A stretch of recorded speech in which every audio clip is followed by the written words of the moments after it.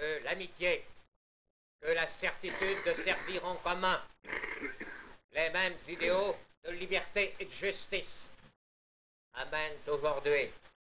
Le gouvernement britannique et le gouvernement français à lier par écrit leur destin. En commun avec tous les peuples épris de justice et de paix. Pour 50 ans, ce qui est l'éternité des gouvernements et ce qui pour nous signifie toujours.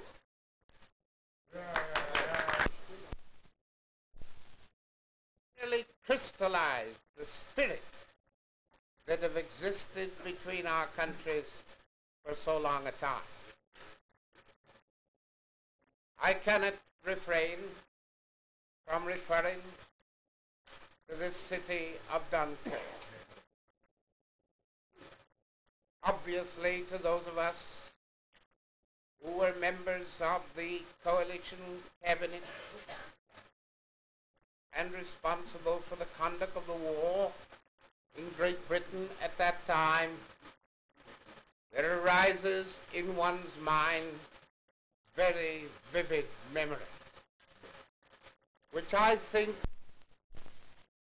history, with our great culture, with our great contribution to civilization, and if I may say so without ego at all, our capacity for leadership and contribution will help to make this world. And it's very gratifying to know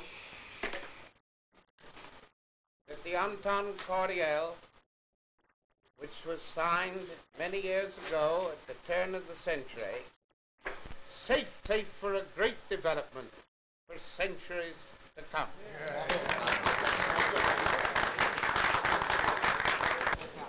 Never really been broken between our two countries.